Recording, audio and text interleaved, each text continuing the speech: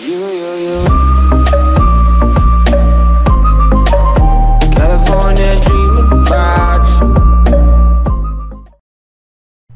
up guys, Lazer here and today we are gonna review the Aether Refiner guys. Berezaa added this reborn item this Thursday.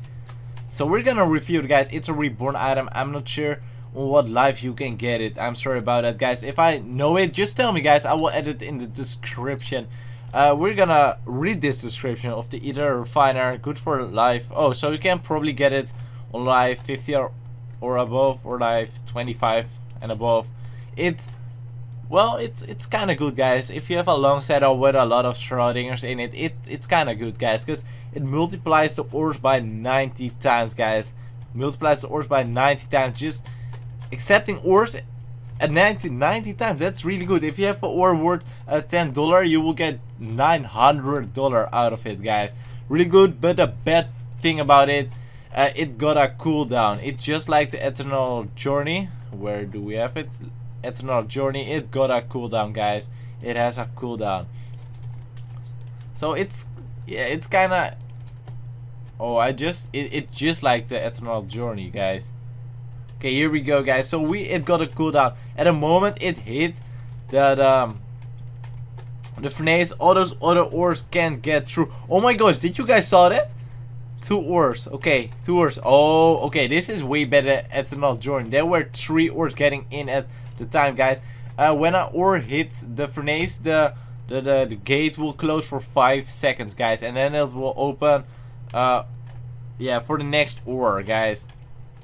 If no ores hit the, the gate, it will just stay open, guys. So, when an ore hit the gate, it will close for 5 seconds straight. But it's better than the Eternal Journey, you know. At the Eternal Journey, if you have more ores, they will just uh, disappear in the furnace. Now they will just wait in front of the furnace. So that's that's great. That uh, I mean that's great.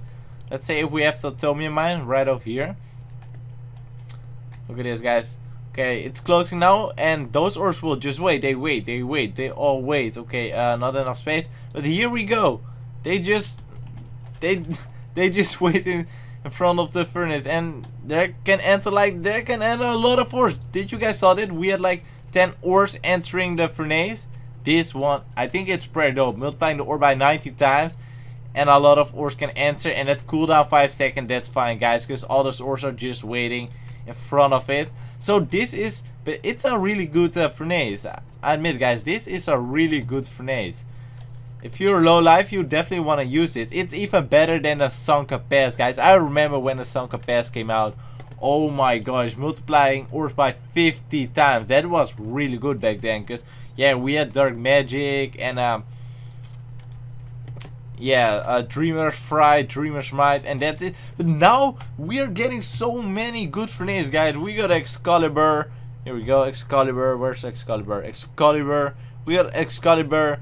Um, and we got this one. We got the Swordmaster Spirit. We got Heavenly Wisp. Guys, the birthday cake. Well, birthday cake is not that good. It's it's okay. But this one is pretty good guys especially for low life people. You really want to use this. I mean if you get it this is like four times better than a frozen justice if you're getting this one.